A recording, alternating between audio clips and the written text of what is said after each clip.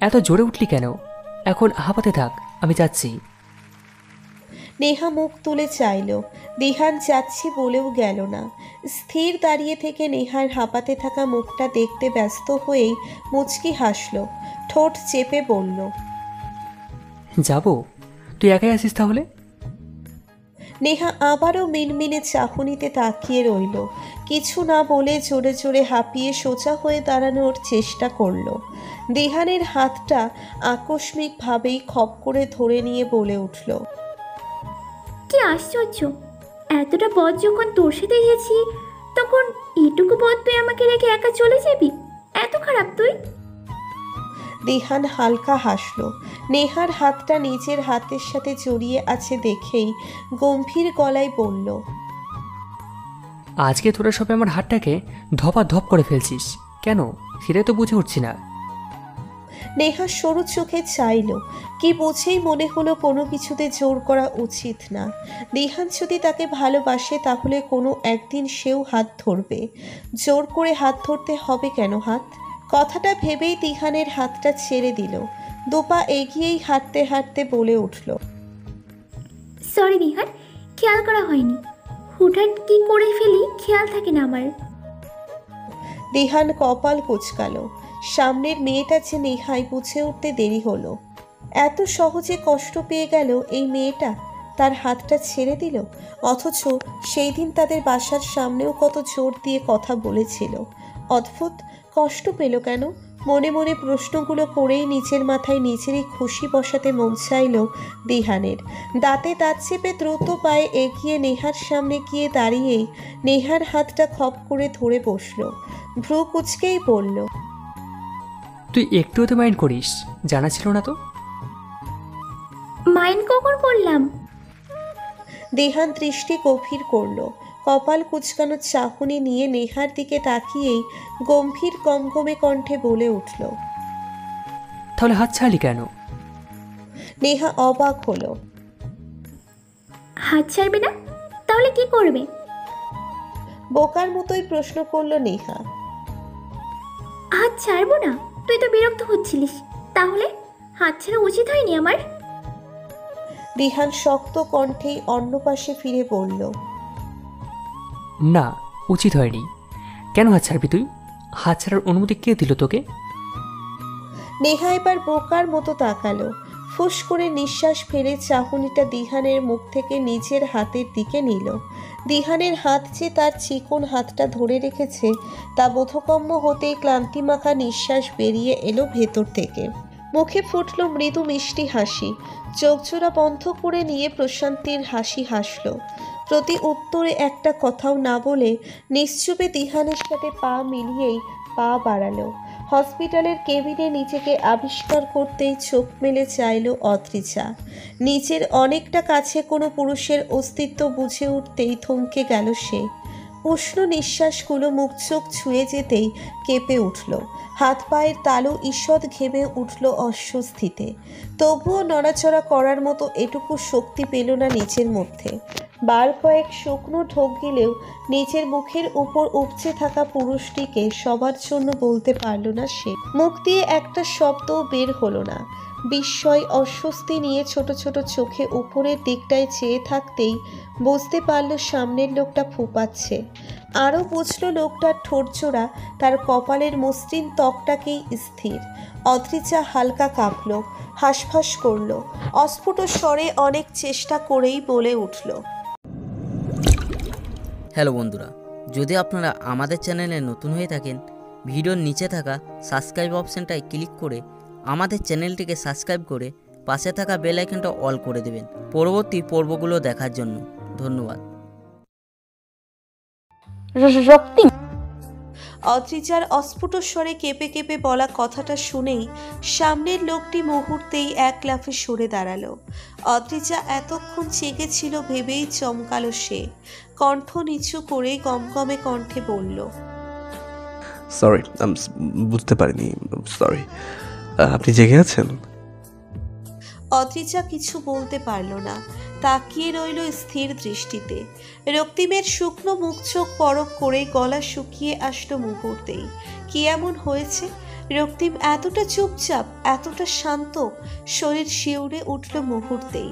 চোখ জোড়া ছোট ছোট করে স্থিরভাবে রক্তিমের দিকে তাকাতেই মনে জাগলো কঠিন প্রশ্ন। কাপা কাপা ভাবে বাম হাতটা গিয়ে ঠেকল তার পেটে। ঠোঁটে ঠোঁট চেপেই বলে উঠল রক্তিম? বাকি কথাটা বলা হলো না অদ্রিচার রক্তিম তার তর্জনী আঙ্গুলটা অদ্রিচার ঠোঁটে রেখেই হালকা হাসলো। কণ্ঠটা ফিচেল করার চেষ্টা করেই বাঁকা হাসার চেষ্টা করল। কিন্তু চেষ্টা সফল হলো না। স্পষ্ট বোঝা গেল রক্তিমের হাসিটা বানোয়াট। চোখে মুখে হাসির সেই উচ্ছলতাটা ফুটেই উঠল না। তবুও বানোয়াট সেই হাসি নিয়েই বোঝাতে চাইল, সবটা ঠিক আছে, কোনো চিন্তা নেই। কিন্তু মিথ্যে সেই সান্ত্বনাতে অদ্রিজার মন মানল না। স্থির নয়নে তাকিয়ে আবারও বলার চেষ্টা করল। আমি রক্তিম আবারও আঙ্গুলটা অদ্রিজার ঠোঁটে রেখেই লম্বা নিঃশ্বাস ফেলল। মুখে চোখে হাসি রেখা ফোটানোর চেষ্টা চালিয়েই শুকনো কণ্ঠে বলল আপনার শরীরে ইনজেক্ট করা হয়েছে। ঘুমানোর কথা আপনার। ঘুমন। আপনার শরীরটা দুর্বল। পরে কথা বলার শক্তি পেলে কথাগুলো বলে নেবেন ওকে? যা জানা জেনে নেবেন। এখন প্লিজ একটু চুপ থাকুন। প্লিজ এইদিকে বেবিটা আপনার ওয়াইফের অসতর্কতাবশত চলাফেরার জন্য, অল্পের জন্য নিজের অস্তিত্ব হারায়নি, মিস্টার রক্তিম মাহমুদ। তবে একেবারে যে বেবিটাকে নিয়ে ভয় কেটে গিয়েছে, তা একদমই নয়। ওনার পেট ব্যথা সহ আরও বিভিন্ন প্রবলেম হতে পারে প্রেগনেন্সির সময়টাতে। বাচ্চাটা মিসক্যারেজও হতে পারে। ওনাকে সতর্ক হয়ে চলাফেরা করতে বলবেন। আর হ্যাঁ নিয়মিত ঔষধ আর একদমই রেস্টে থাকতে বলবেন। আশা করি নিজেদের ভবিষ্যৎ বেবির কথা ভেবে এইটুকু অবশ্যই মেনে চলবেন, রাইট? রক্তিম হালকা হাসার চেষ্টা করল। নিজের সামনেই কম বয়সী যুবতী ডক্টর। হাতে রিপোর্ট, দৃষ্টি অতি তীক্ষ্ণ রেখে রিপোর্টগুলোর দিকেই চেয়ে আছে সেই যুবতী ডক্টর। কণ্ঠেও তার তীক্ষ্ণতার তেজ স্পষ্ট। রক্তিম চোখ তুলে তাকিয়ে কিছু বলতে নিতেই সামনের সুন্দরী ডক্টর আবারও বলে উঠল যদি এরপরও এমন কিছু হয়, তাহলে সত্যি বেবিটা মিসকারেজ হয়ে যেতে পারে, মিস্টার রক্তিম। ইভেন এবারও বেবিটা মিসকারেজ হয়ে যাওয়ার সম্ভাবনা পঞ্চাশ পার্সেন্ট ছিল। আমি মনে করি এরপর থেকে একটু সাবধানে চলাফেরা করবে আপনার ওয়াইফ আর যদি তা না হয় তো আপনারা আপনাদের অনাগত সন্তানকে হারাবেন। তাছাড়া বিভিন্ন প্রবলেমও হতে পারে। উনি যতটা হালকাভাবে আঘাত পেয়েছেন বলছেন, বিষয়টা অতটাও হালকা নয়। আমার মনে হয় না। আপনাদের খেয়াল রাখা উচিত ছিল। প্রেগনেন্সির এই কয়েকটা মাস একটু সতর্ক নিয়ে চলাফেরা করা উচিত। আমি জানি না ওনার প্রেগনেন্সির জার্নিটা কেমন কাটবে, তবে বেশ ভালো কাটবে না, এতটুকু বলতে পারি। তবে সতর্ক হয়ে চললে আশা করি কিছু হবে না। রক্তিমের মুখ গম্ভীর হলো, ঠোঁট চেপে চোরে শ্বাস ফেলেই বলে উঠল হ্যাঁ এরপর আর অসতর্কতা নিয়ে চলাফেরা করবেন না। আমি দেবো না ওরকম করতে। কথাটা বলেই উঠে দাঁড়াল। মুচকি হেসে ডক্টরের কেবিন থেকে বেরিয়ে এসেই অদ্রিজার উদ্দেশ্যে পা বাড়ালো। মিনিট দুয়েকের মধ্যেই পৌঁছলো অদ্রিজার কাছে।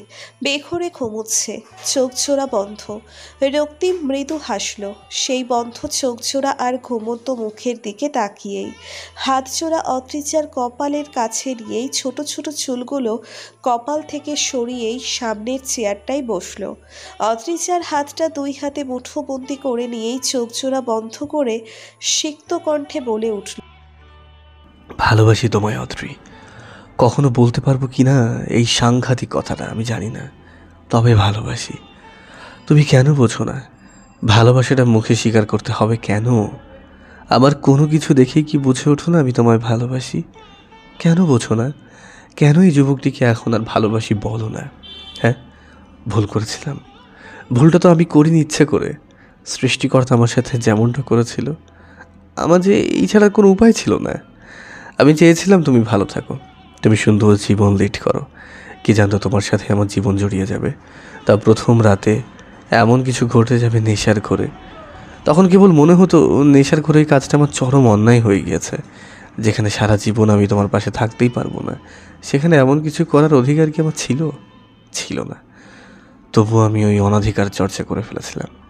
আর এই অনাধিকার যাতে আবার না ঘটে, তাই তোমাকে বারংবার দূরে সরিয়ে রাখতে চেয়েছিলাম।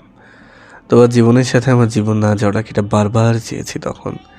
কিন্তু সৃষ্টিকর্তা আমার সেই চাওয়াটা পূর্ণ করল না অতরি তোমার জীবনের সাথে আমার জীবনটা আশ্রয়ে পৃষ্ঠয়ে জড়িয়ে দিয়েছেন উনি। আমি চাইলেও তোমার থেকে আলাদা হতে পারিনি। ভালোবাসি ভালোবাসি তোমায়। প্লিজ, আমার অন্তরের এই কথাটা বুঝে নিও। প্লিজ। হ্যালো গাইস ভিডিওটি ভালো লাগলে একটু লাইক করে দিও। আর অবশ্যই কমেন্ট করে জানাও ভিডিওটি তোমাদের কেমন লেগেছে। আর ভিডিওটির পরবর্তী পার্ট খুব তাড়াতাড়ি আসবে। তো যারা এখনও চ্যানেলটিকে সাবস্ক্রাইব করনি প্লিজ পরবর্তী পার্টগুলো দেখার জন্য চ্যানেলটিকে সাবস্ক্রাইব করে পাশে থাকা বেলাইকানটি প্রেস করে দিও। ধন্যবাদ সবাইকে। আমাদের সাথেই থেকো।